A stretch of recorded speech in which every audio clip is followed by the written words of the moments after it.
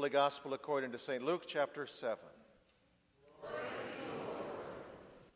One of the Pharisees asked Jesus to eat with him, and he went into the Pharisee's house and took his place at the table. And a woman in the city, who was a sinner, having learned that he was eating in the Pharisee's house, brought an alabaster jar of ointment. She stood behind him at his feet, weeping, and began to bathe his feet with her tears and to dry them with her hair. Then she continued, kissing his feet and anointing them with the ointment. Now, when the Pharisee who had invited him saw it, he said to himself, If this man were a prophet, he would have known who and what kind of woman this is who is touching him, that she is a sinner. Jesus spoke up to him and said, Simon, I have something to say to you. Teacher, he replied, speak. A certain creditor had two debtors. One owed 500 denarii and the other 50. When they could not pay, he canceled the debts for both of them. Now, which of them will love him more? Simon answered, I suppose, the one for whom he canceled the greater debt. And Jesus said to him, You have judged rightly. Then turning toward the woman, he said to Simon, Do you see this woman? I entered your house. You gave me no water for my feet, but she has bathed my feet with her tears and dried them with her hair. You gave me no kiss, but she has from the time but she has from the time I came in not stopped kissing my feet. You did not anoint my head with oil, but she has anointed my feet with ointment. Therefore I tell you her sins, which were many, have been forgiven. Hence she has shown great love. But the one to whom little is forgiven loves little. Then he said to her, Your sins are forgiven. But those who were at the table with him began to say among themselves, Who is this who even forgives sins? And he said to the woman, Your faith has saved you. Go in peace. Soon afterwards, he went on through the cities and villages, proclaiming and bringing the good news of the kingdom of God. The twelve were with him, as well as some women who had been cured of evil spirits and infirmities Mary, called Magdalene, from whom seven demons had gone out, and Joanna, the wife of Herod's steward, Chuza, and Susanna, and many others who provided for them out of their resources. The Gospel of the Lord. Praise to you, O Christ.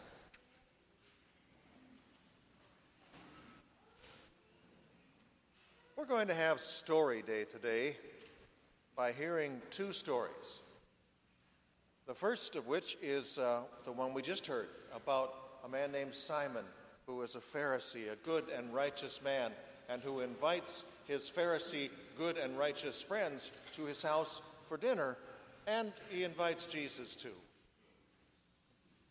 We aren't told if he was intrigued by Jesus and wanted to meet him because he was genuinely interested, although sometimes that happened, or if perhaps he was, he was uh, skeptical, suspicious of Jesus, and, and wanted to have him over to, to test him. That happened a lot. Or if maybe Jesus was starting to develop kind of celebrity rock status at this time, and, and he wanted the status of being seen with him. That happens still, of course.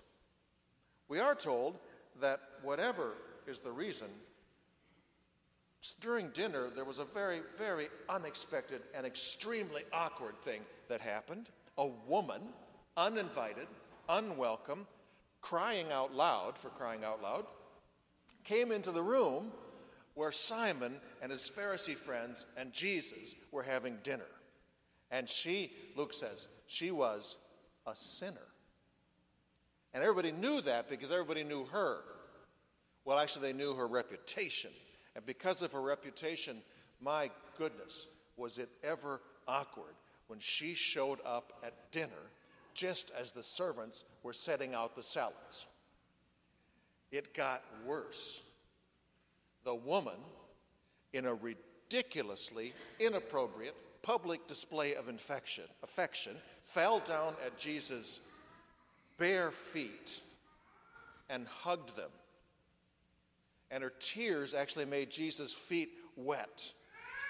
And, and so, even as she kept crying, she began to dry his bare feet with her hair. It got worse, it got scandalous.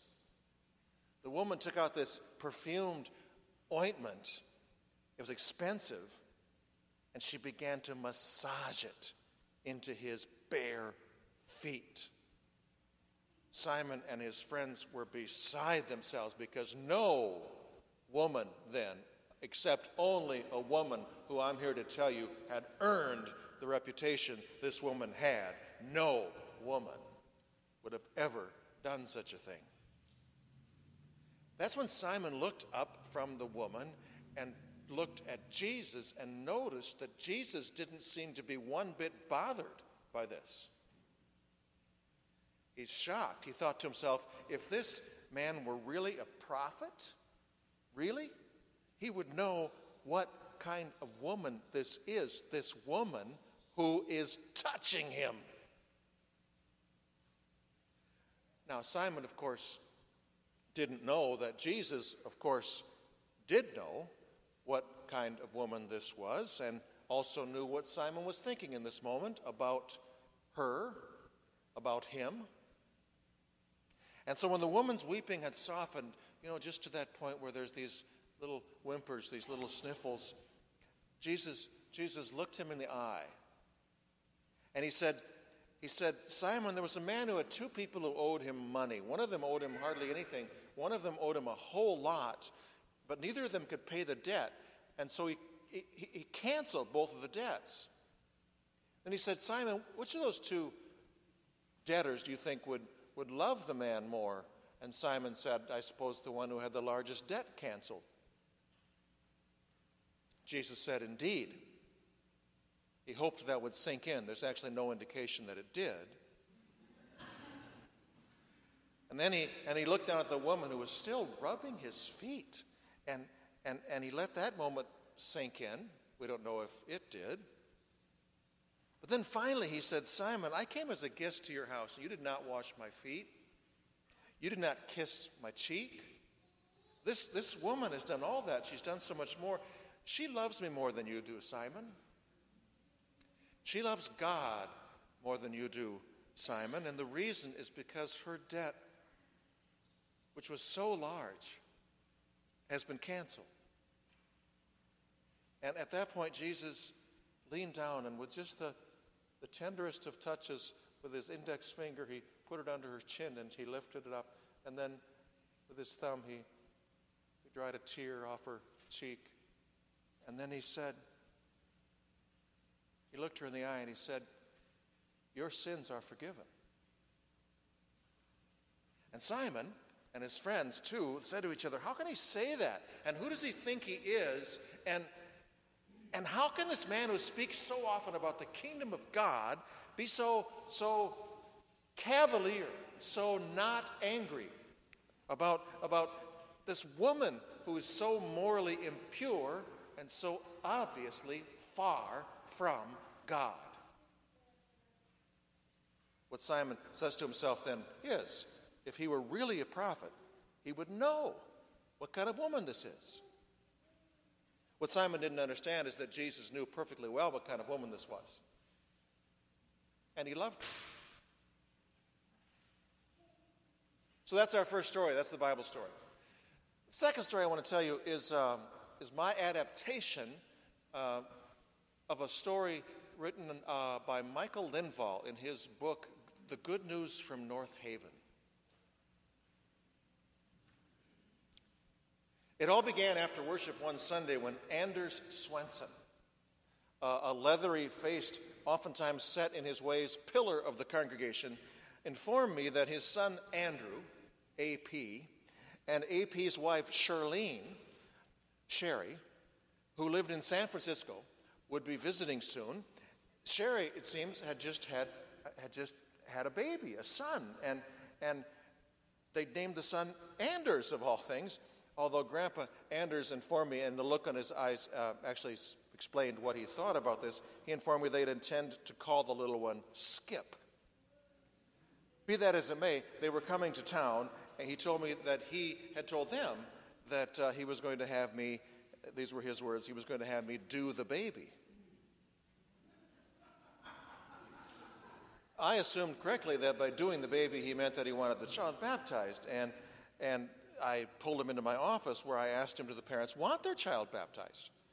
Are they, are they willing publicly to make the promise we ask parents at a baptism to raise their child in the faith and to teach them the commandments and the Lord's Prayer and the Creed and to, to, to bring them to, to, to worship in, in their church out there? And Anders said he didn't know. He hadn't talked to them about any of that, although he did tell me that, that they really hadn't had time. They were quite busy out there in California. They really hadn't had time to find a church, which I understand that happens. But I was a little under, less understanding when I found out that they'd been living in San Francisco now for 14 years. I told Anders I didn't want to do a baptism without some assurance of the parents' commitment to raise their child in the faith, and I couldn't promise to do a baptism without having that talk with them first. Anders was quiet. He didn't argue. He said, Well, okay, if that's how you feel. And then he thanked me for his time. And I um, I'm kind of, was kind of naive. I thought that would be that. Uh, turns out Anders is a member of the church council, and he called a special meeting of the church council where they voted nine to zero in favor of the baptism and then informed me that I would be doing it. Two weeks later, we did little Anders skip Swenson. Now, Grace Lutheran, and I've never heard of another church that does this, Grace Lutheran has this kind of unique but really kind of nice custom at baptisms that I'm told that, that they've done as long as anybody can remember. At every baptism, during the ceremony, the pastor at one point always asks, Who stands with this child? And then the whole extended family of the child does stand, and they remain standing throughout the baptism. So, two weeks later, with little Skip in front of me, I asked, Who stands with this child? And up stood Anders and his wife Doris, and some aunts and uncles, and three or four dozen cousins. After worship, everybody went home, and I went back into the sanctuary to turn off the lights. And a, a, a middle aged woman, kind of, um, kind of consignment shop style clothes, actually, was sitting in the front pew, and I recognized her as someone who had been coming to worship the last few months, but she always sat way in the back, and she always snuck out like, like during the last hymn, and so I never got a chance to find out even who she was. She seemed to want to know something or say something, but she also seemed hesitant. I, she finally did tell me that her name was Mildred Corey and that she thought the baptism was just beautiful. After a little more pause, she, she said that her daughter Tina had just had a baby. And, I mean, the child should be baptized, right? I told her that Tina and her husband should call me, and by all means, we would arrange the baptism. She hesitated again, and then she said, Tina's, Tina, Tina's got no husband. She's, uh, she's just 16. She said she came here for confirmation before you got here. She came for about a year and a half, but then she's she started to see this older boy. And Mildred paused. This was obviously hard for her. She said, then she got pregnant, and the father didn't want nothing to do with the baby, but she wants to have him baptized, but she's scared to talk to you. She named him James, Jimmy. Well, I told her I would, I would have to visit with Tina, and I did. I visited with the two of them together, and then I told them that I would be happy to do the baptism, but that, at Grace Lutheran there was one more thing that they've always done, and that is that at Grace Lutheran, all baptisms were approved by the council. When I brought it up at their next meeting, I started to explain what it turns out everybody in the room already knew, and that is that Tina Corey was a member of the church and was just 16, and I didn't know who the father was. They all knew who the father was, of course. This was a small town. The, the father was Jimmy Cheevers, who had just recently and kind of suddenly enlisted in the Marines. But they did have some questions, the consistent theme of which was how could we be sure that now all of a sudden, after, after all the poor decisions she'd made in her life, like quitting confirmation and getting pregnant, how could we be sure that Tina would stick to the faith commitment she was making in having her child baptized? Well, memories of a 9 to 0 vote to veto my plan to ask little Skip Swenson's mom and dad the very same types of questions were very fresh in my mind, and I could feel my face warming as I listened to them, all of a sudden now wanting to ask those questions this time, but I stayed fairly calm as I told them, We can be sure about these things because I have talked to her. And she wants to raise her child in the faith. Besides, I said, she and little Jimmy live right here in town where we can help her raise her child in the faith. Nothing more was said. The baptism was scheduled for the following Sunday. And the church was full. When the time came, I invited Tina up, and she made her way forward, just her and her little two month old baby boy, and, and she smiled at me, but it was a nervous smile. And as she got closer, I, she just looked so young. And she got closer, and I could see she was shaking. I read the opening part of the service thinking, thinking that Mildred, Mildred Corey looked so out of place just sitting there in the second pew from the front and sitting, instead of sitting where with the back, and she looked, she looked nervous too. And then it was time, and I said, Who stands with this child? Then I, I gave her the most encouraging smile I could, and just awkwardly returning my smile, she, she stood up. And then I looked down at my liturgy book and I was ready to ask Tina the questions about, about her commitment to the spiritual nurturing of, her nurturing of her child when I became aware of a movement. I looked up and I saw that Anders Swenson, in his blue serge suit, had stood up. And Doris stood beside him. And then a couple more council members. And then the Sunday school superintendent. And then this one young couple that had just joined the church.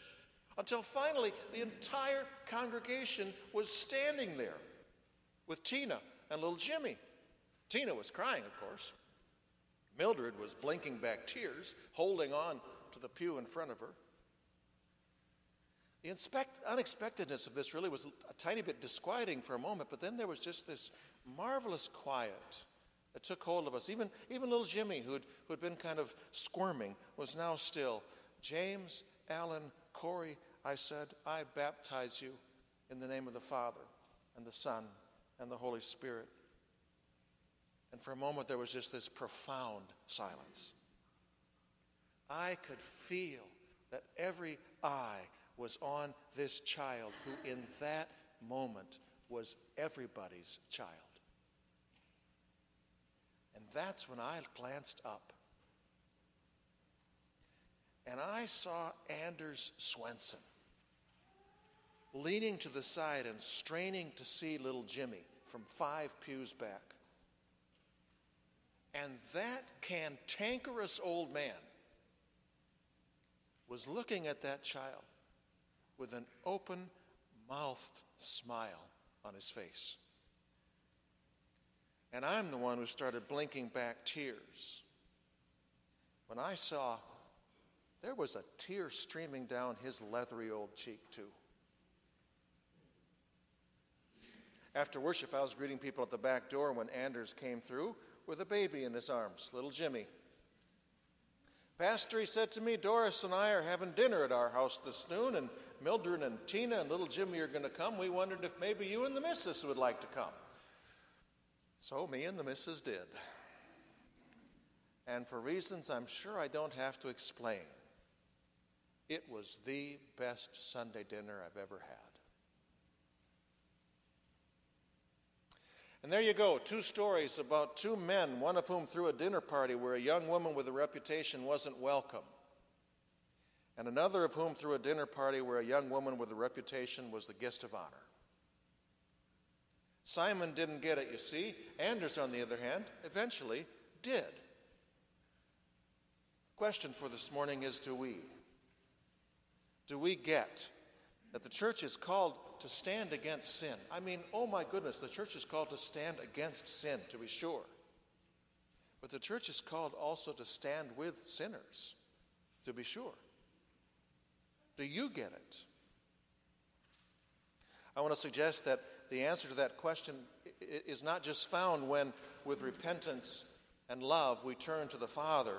That question is answered when, with forgiveness and love and compassion, too, we turn to our sisters and our brothers.